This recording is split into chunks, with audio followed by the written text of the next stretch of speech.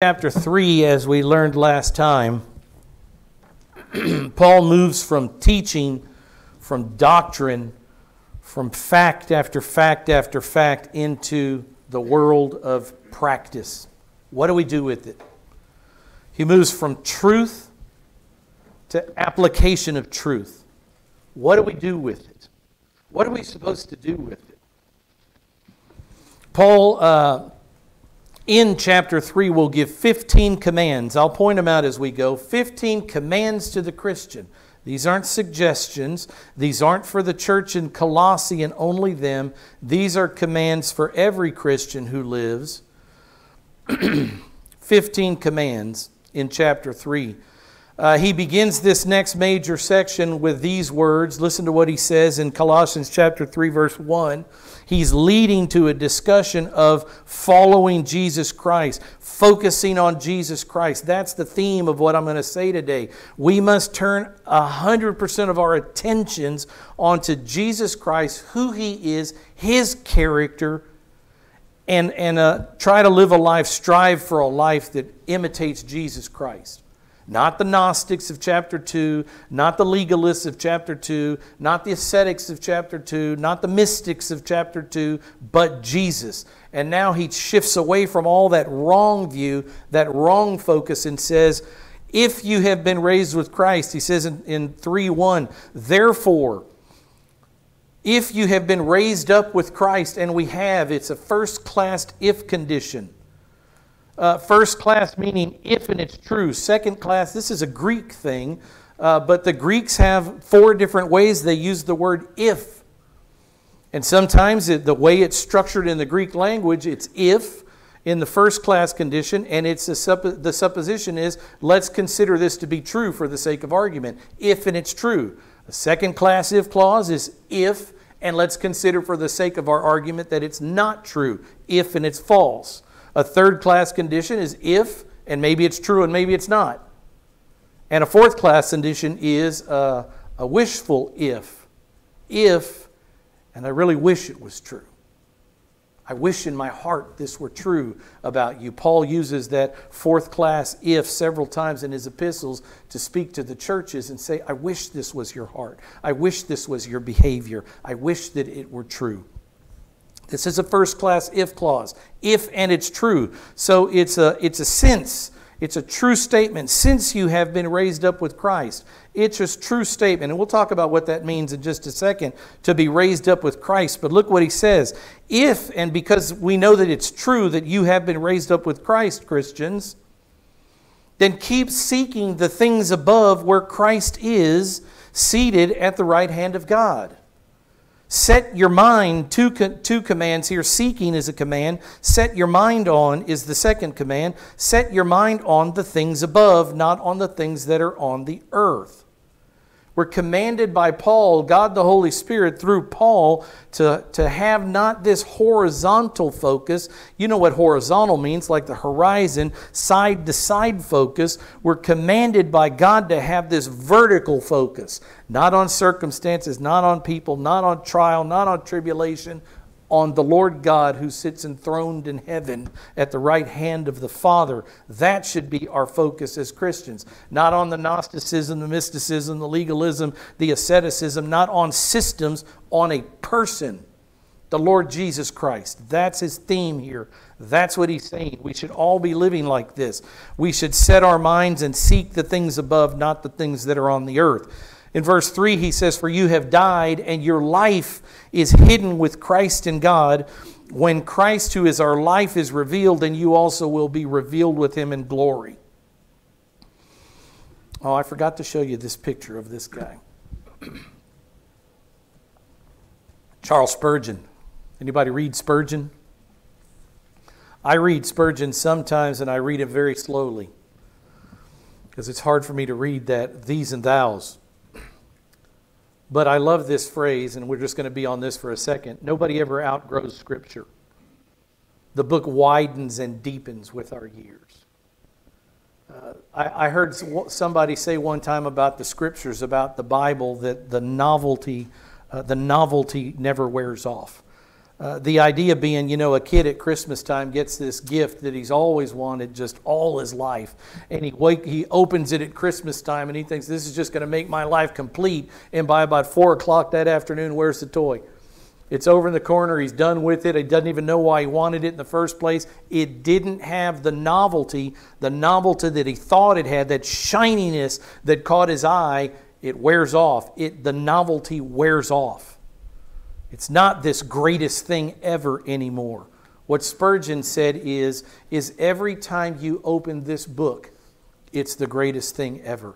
The novelty of it, the wonder of it, the shininess of it, the thing that attracts you to it. If you will go to the book, it will attract and amaze you every single time. You'll never outgrow the book. It continues to widen and deepen with our years. And boy, is that true.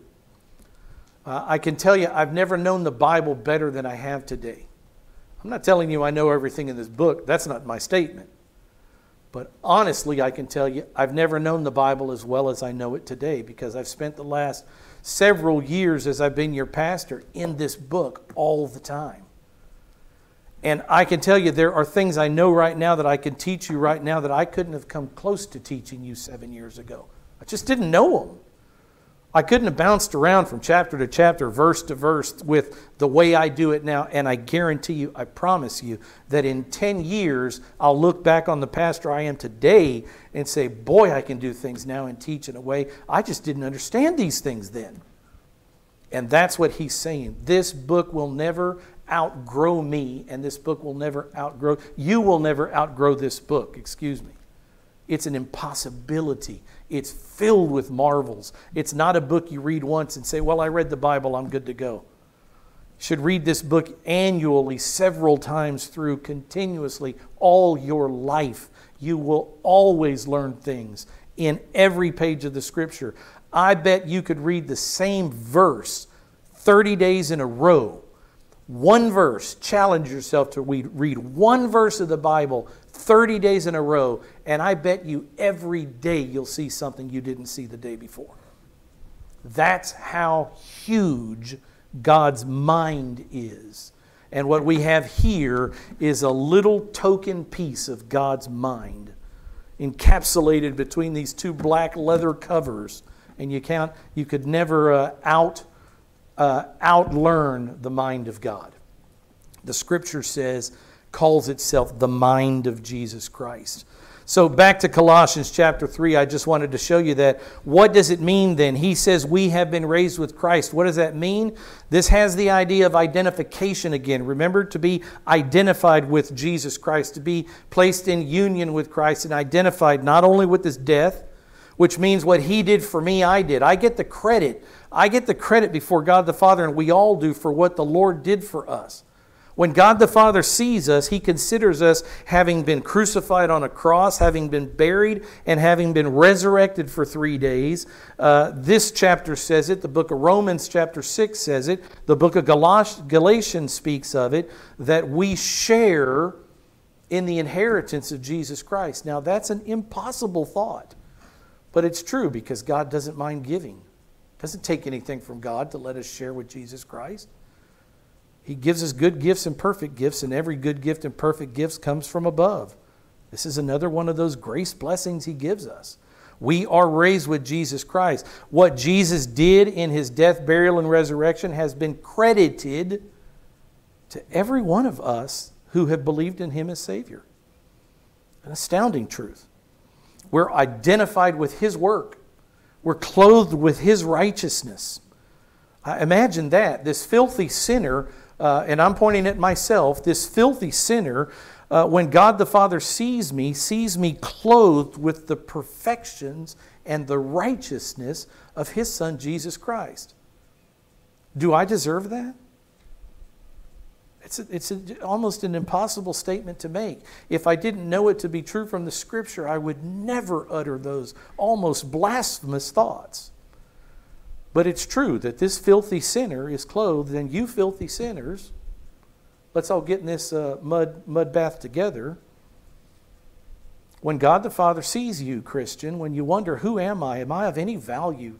Do I have anything to share? Do I have anything to contribute? You remember who you are. You're a child made in the image and likeness of God. As a Christian, as I'll say in just a minute, there are a lot of things we have. And we bear the robe, the righteousness of the living God, Jesus the Christ. An unfathomable truth, but a truth nonetheless. What Jesus did in his death, burial, and resurrection, God the Father credited to our account. We're identified with his work and we're acceptable to the Father because of the work that Jesus did that we share in. Nothing that we did, it's what he did. So here we see that we have been raised with Christ, not resurrected. This isn't talking about resurrection, not in our present condition. We have been raised with Christ, but not to immortal life. That's not the focus here at this moment. We will be, and that's a promise, a guarantee. One day we'll be resurrected to immortal life, but not yet. The truth here is that we are already as good as resurrected, and so live like it. We're as good as resurrected and seated with Christ in heaven. What He does, we get credit for. And since he's been raised, we have been raised. And since he has been seated, we have been seated. It's a phenomenal thing. Uh, but our present truth today as Christians is that we've been raised to new life. And I'm going to discuss that new life in just a few minutes here uh, as we continue on. But we've been raised to a new type of life, a spirit life. Life with the human spirit. That's a new thing not just a body and the soul. Remember, uh, here's what I want to say. Remember that God reveals to us in the Bible that Christians are three part people. We're three part beings. Our existence has three parts now instead of just two like an unbeliever. We truly are reborn to new life. And Paul is saying, since you've been raised, since you have this new life, live like it. Live like the risen Christ. You also have been risen in a way. Uh, so remember that God reveals to us in the Bible that we have three parts the body and the soul and the spirit. Look what it says. I'm going to show you a couple of verses in case anybody is wondering. I make this statement to you the unbeliever, anybody that you know in this world that has not placed their faith in Jesus Christ, has a human body that we can all see and a soul that is eternal. Nobody will ever die eternally. Nobody will ever go out of existence, is what I mean by that. Believer and unbeliever will live forever. You precious souls, the beloved, those who are in union with Jesus Christ, where will you go when you die and are resurrected to immortal, glorified, imperishable life? Where will you exist? Wherever Jesus Christ is, that where I am, you may be also whether it be time in heaven, time in the New Jerusalem, time on the, on the uh, thousand year millennial reign earth, wherever it is, you will be in the presence of the Lord Jesus Christ. He makes us that promise that where I am, there you may be also. Not so for the unbeliever. The unbeliever has a body and a soul that lives forever, but where will they go when they die physically? They don't go out of existence. They just because they don't believe in Jesus. This is a horrific thought, but it's a thought of God. It's a truth of the Bible. The unbeliever goes uh, to the lake of fire eventually and are tormented day and night in this fire and this brimstone. The scripture teaches that clearly. That was, the, uh, that was what Adam uh, gained for us in the garden when he bit the fruit. So, what happens to an unbeliever when they believe in the Lord Jesus Christ? They take on something that they didn't have before. They, they are cre- created in them is this human spirit. Uh, let me show you a couple of verses. Look at what it says here. I want to prove that we're three parts. 1 Thessalonians 5:23 it says may the God of peace himself sanctify you entirely. This is Paul's uh, closing statements to this church in Thessalonica uh, Thessalonica, he says, And may your spirit and soul and body be preserved complete without blame at the coming of our Lord Jesus Christ. You see how Paul separates us into three parts as Christians? This is a Christian church, the Thessalonica, the Thessalonians. And he speaks of spirit, soul, and body. Let me just tell you what those words are. They are three different words. The Spirit is the Greek word pneuma. For those of you that are new in the Bible, the Bible wasn't written in English, the Bible was written in Hebrew, and the Bible was written in Greek. The New Testament was written in Greek. When Paul wrote these words, he didn't write spirit, he wrote pneuma. He was writing in the Greek language. Uh, and that's why when I show words like this, I'm not trying to show off, ooh, look what the pastor knows. Who cares? We're trying to learn the Word of God together. I'm trying to expand and, and tell you what the Bible says. And Paul used the word pneuma here. He says we are a spirit. And what is a spirit? It's an immaterial part of believing man received at the point of belief in Jesus Christ as Savior. It's immaterial. Uh, if I were to be cut open, you say, well, the Spirit's inside Rick somewhere. Yes, it is.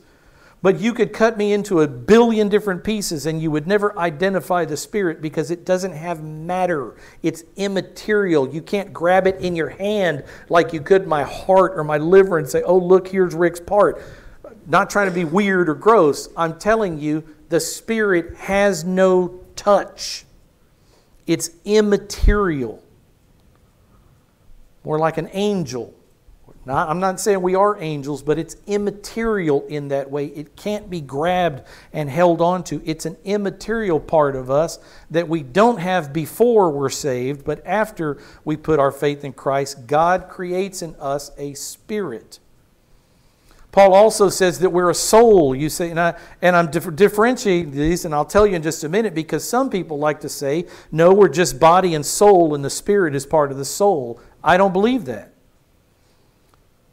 I don't know why Paul would have said three things instead of just two. I'll show you that in verses here in a minute. Uh, why I don't think we are two parts. I believe wholeheartedly, and will the day I die, we are three body, soul, and spirit. What is the soul? It's the immaterial part of mankind. The soul is um, uh, more things. It's it's life on earth. It's life on earth in its animating aspect, making bodily function possible. It's the life giver. The soul is what's alive. The body is only alive because the soul is in it. The body is alive because this life giving soul is in it. So that should give you a, a, a, peek into what happens when we die physically and you have a dead body, but a what? An eternally living soul that's outside the body. I'll say something about that in just a minute. The soul is the life giver. When the soul leaves the body, the body has no life in it. The soul is the life giver. Uh, it can also be considered the breath of life. Old Testament, nephesh, the soul, the breath of life. And God breathed into Adam the breath of life. Uh, from Genesis chapter 2, verse 7, the breath of life. Uh, or it could be the life principle the life principle, the, uh, the, the basis, the origin, the structure, the foundation on which life, or from which life comes. That's what I mean by principle. Without the soul, there is no life. There is no animation. There is no bodily function. There is no communication. There is none of that without the soul. The soul is the life. And then we have this body he speaks of. The Greek word is soma. Did I tell you what this word? Seek, uh, uh, suke or siki is how a Greek would say it uh, the psyche. What word do we get to that from that? The psyche, psychology, all those words come from this Greek word for soul. Because what is psychology but not a study of the real man, the soul, the inner being, the thinking of man? That's where they get the word from soul. Suke or psyche. And then you have body. Paul says that we're a body, the soma the soma. And what is the body? You can see the body, this is an easy one, but it's not just humans, it's anything that has life. It's the entire physical structure of an organism. The an, uh, an organism, an animal, or a human being. Uh, your dog has a body just as much as I have a body. Uh, so it's any living organism has a body. You know, you don't, nor- you don't normally uh, talk about a tree having a body, but all animals have bodies, don't they? All lizards have bodies. All fish have bodies. We know that intuitively. Uh, things that are alive have bodies. That's what the body is. What I'm trying to tell you is, is that Paul says we are three parts. We are a suke, We are a soul, we are a body, a soma, and we're also a spirit, a pneuma. And he's talking to believers, not unbelievers. Uh, so, being raised up with Christ here, he says, since you are raised up with Christ, it's a truth, has to do with our newfound human spirit and our new life in Jesus Christ, our new life with Jesus Christ, the ability to live in union with Jesus Christ, able to be his ambassadors, his representatives on this earth. Don't you see, we couldn't do that before we believed in Jesus Christ. We can only do that once we get a human spirit at the moment we believe. We can be his ambassadors, we can represent him. The unbeliever can't do that. The unbeliever, according to the words of Jesus, is of his father, the devil. Lost in a world of sin, lost in a world that can only sin has no human spirit, doesn't have God the Holy Spirit in him, cannot please God with anything he does other than the decision to believe in his Son as his Savior. And then he becomes a child of God and start pleasing God. A couple of verses because some disagree with this division of soul and spirit. Uh, as to being two different parts. I don't know if you know that, but some thinks it's only body and soul, and I'm talking about some great thinkers. It doesn't matter. This is not a hill to die on. I just want to show you some verses because this church and our Constitution very clearly teach and believe that we are, as Christians, a body, a soul, and a spirit. And so I want to show you where we get our beliefs from. A couple of verses to defend the belief that the soul and the spirit are two different things. In Hebrews chapter 4, verse 12, for the Word of God is living. Everybody knows these verses. For the Word of God is living and active and sharper than any two edged sword. Talking about the Bible. And piercing as far as the division of soul and spirit. You can split them into two parts. The Word of God can split the soul and spirit into two parts. They must be two parts. It can divide joints and marrow. You say, Rick, I could make an argument either way there, but what about joints and marrow who's, uh, who's placed in, uh, in union or in um, parallel with the, the soul and the spirit? Joints and marrow are two different things, aren't they? Anybody who knows anything about physiology, joints and marrow are two different things. So are the soul and the spirit, two different things. The Word of God is able to pierce even as far as the dividing of the soul and the spirit of joints and marrow. The Word of God is able to judge the thoughts and intentions of the heart. Look at the next verse. John chapter 3. Ring any bells? Who's Jesus having a conversation with in John chapter 3? Who? It is Nicodemus, the Pharisee who's afraid to come to the Lord Jesus during the day because he's afraid the Pharisees will see him, it'll make him look bad. So he sneaks in at night. That's good. He snuck in. The other Pharisees didn't sneak in. It's like Peter getting a bad rap for getting out of the water and, and then looking at the water as Jesus is walking on the water and losing his faith and losing his focus and saying, Oh, and he sinks in the water. And some people say, Oh, you of little faith. I say, No, you of gigantic faith. Because how many people got out of that boat to walk on the water with Jesus? Strong for a moment, the strongest in the boat, Peter got out and wanted to experience what the Lord could do. But in John chapter 3, Jesus having this conversation with Nicodemus, this is what Jesus says. Jesus tells Nicodemus all throughout this, son, unless you be born again, you cannot enter into the kingdom of God. Nicodemus comes and says, We know you're a great rabbi, uh, you're a great teacher, we know God is with you. You couldn't do things like that if not God was with you. Jesus, in essence, cuts him off and says, Unless you're not born again, uh, yes, thank you for the flattery, you're right about all those things. But let's cut to the chase here, Nicodemus. I know you're here for an answer, and the answer is you must be born again in order to be saved. That's why you're here. You think I'm who I say I am, I'm going to prove it to you. And Jesus says, that which is born of flesh, speaking of this being born again. Somebody tell me, what was Nicodemus' answer to Jesus when he said, You must be born again from above? Nicodemus says, What? How can I what? How can I enter into my mother's womb a second time to be born again? And Jesus said, No, you're missing the point. I'm not talking about fleshly birth. I'm talking about a different kind of birth. I'm talking about a new birth that only the Christian will ever uh, experience only the one who believes in me. Jesus says, That which is born of flesh is flesh. Nicodemus, you're talking about having been born of a human mother. Human flesh begets human flesh. That's not what I'm talking about. And Jesus says, That which is born of the Spirit is spirit. So Jesus intimates here, look at what it says in the verses before in John 3 3. Jesus says to Nicodemus, Truly, truly, I say to you, unless one, you, because you've come asking the question, unless one is born again from above, unless one gets a life given to him that he doesn't currently have, spirit life, he cannot see the kingdom of God. That's what Jesus is teaching. You don't get to heaven without a human spirit. And at the moment you believe in Jesus Christ, you pick up, you are created in you anew. A human spirit is given back to you. Don't you know that's what Adam lost when he bit the fruit? When Adam bit the fruit, we call it spiritual death. But if you break that down and turn it around, it's the death of the spirit. Adam's spirit died that day. He was created, body, soul, and spirit, to, uh, to commune with God and worship God and glorify God and all of those things and rule the earth and subdue the earth and all of those things Adam was, was called to do uh, as a body and a soul and a spirit. But when he bit the fruit, his spirit died, and he began to die physically. His body began to die as part of the curse of his spirit death. It took 936 years to die.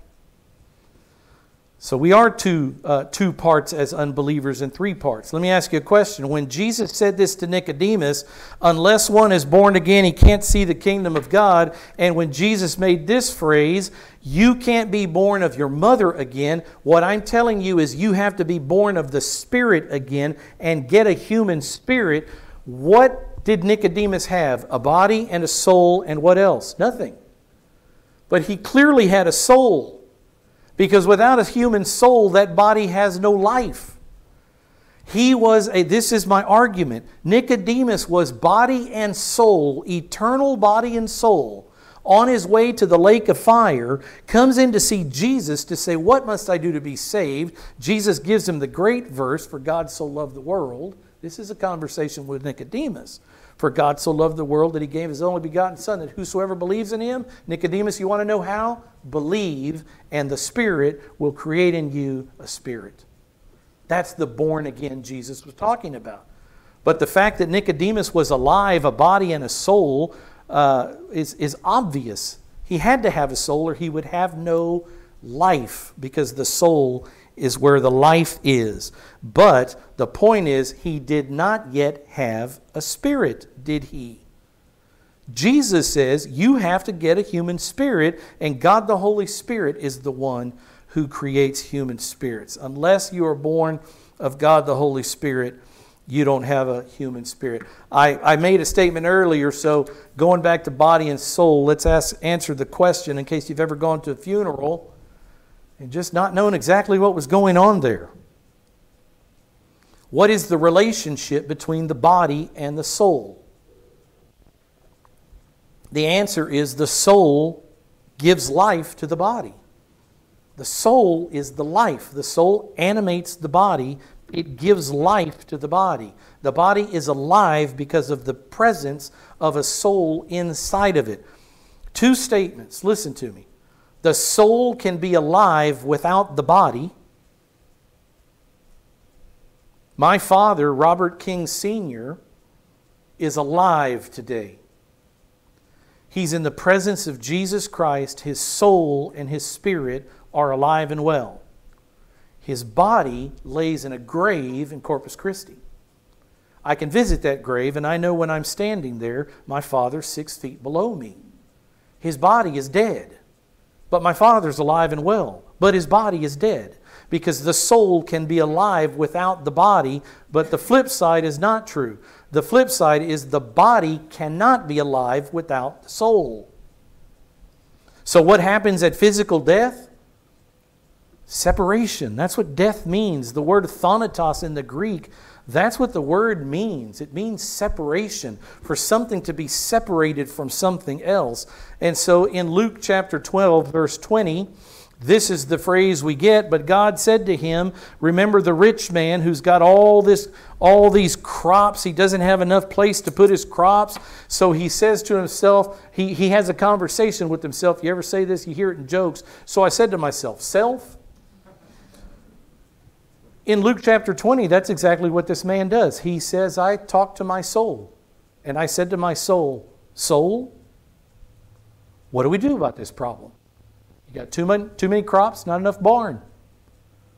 And so what he did, he focused all his attention on the crop. I don't know what the what he should have done with it, maybe give it away. I don't know what the Lord was intending by that portion of it, but what he focused his attention on was all his material wealth and his crops. So he spent all his time building this bigger barn, and God comes along, and because his focus is wrong and on all this materialism, God says to him, You fool.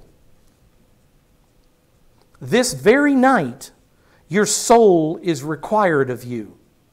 And now, who will own what you have prepared? All these large barns filled with all your stuff that you thought was uh, worthy of spending all your time on, building all this barn to keep your stuff. Don't you know that tonight your soul is required of you? What is God telling him in this parable? What's going to happen to this man? What does it mean that his soul is required of him this day? What's going to happen? Vera, say it. He's going to die. This is the day that he will die. And his soul will be taken out of his body. That's, that's the, what he's saying here. Your soul will be taken from your body. Your body will lie fallow, it will lie untouched in the grave. Your soul will be elsewhere, but you, your body will no longer have any life. Uh, that's the point I'm trying to make here. So, death is a separation of the soul from the body. So, when you go to a funeral, uh, and you may not have a pastor that can actually say it right because he may not know it right, but what we're dealing with is a, a material body who no longer has that breath of life in it, uh, but an eternal soul, a soul that's either never believed and on its way to the lake of fire, or a soul that has believed in the Lord Jesus who's face to face with the Lord Jesus Christ along with the Spirit that it has. That's what we're dealing with. You say, Rick, well, when will that end? What will happen to Robert King Sr., who's in the grave? How does this end? What happens in the future? You want me to tell you? What happens in the future is one day, according to 1 Thessalonians chapter 4, God the Father will tell Jesus Christ, go back to earth and claim what's yours, claim your prize, claim what you've worked for, take the Christians off the earth. This is an event we call the rapture. And the rapture says in 1 Thessalonians 4 that the dead in Christ will rise first. Everybody who is dead and laying in the ground, their souls and their spirits will come back with Jesus Christ.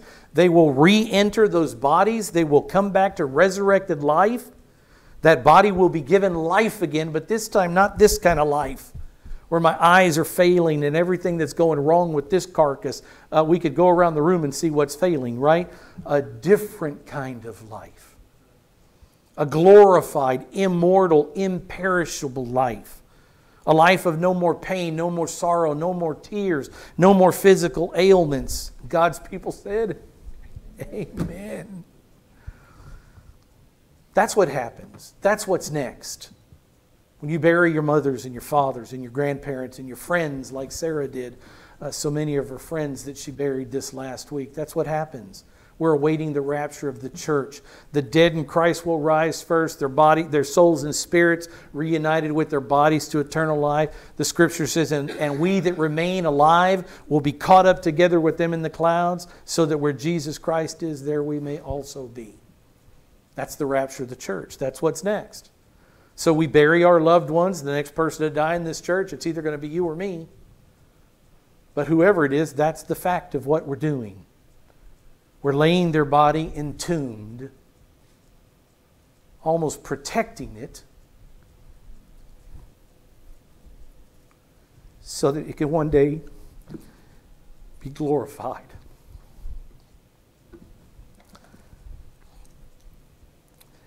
You know, this is a crazy world. And there are so many people that tell us uh, the psychological types. There are so many people beating down on us. Uh, you're not worthy of this, you're not worthy of that. There's, there's so much negativity, there's so much hatred in this world where every group's pointing at the other group and saying uh, just horrific things about everybody. But this is our truth. We have been raised up with Jesus Christ. We are as good as resurrected with the, the, the, Lord God. We have a new life. We have a new set of truths in our new life. And that's why we should be living differently than we were before we were saved, because I'm telling you, we are entirely different than we were before we were saved. Whether you've come to understand it through a study of the Scripture or not, we are entirely entirely different. We have a human spirit now.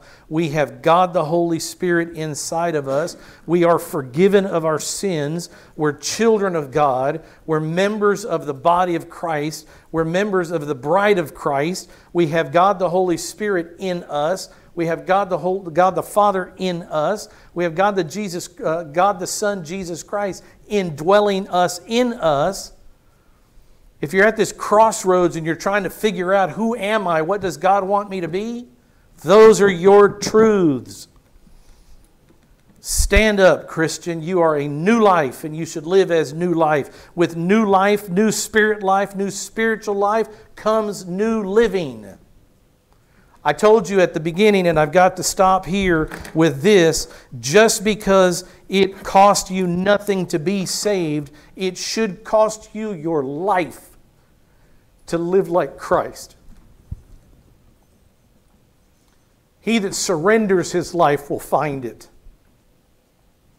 That's Christianity. Entrance into the Christian life is a split second decision. It's not a work of man for God, it's God's work for me. He did this through the cross of Jesus Christ. He saved me, forgave me, placed me in union with Him. But my life as a Christian now should be entirely different than it was before. If the Bible says you can do it, you can do it. New Testament Bible. And every one of you, listen to me, I'm yelling at myself. If the Bible says you can't do it, stop doing it. You live in a way that pleases your God. You are His child.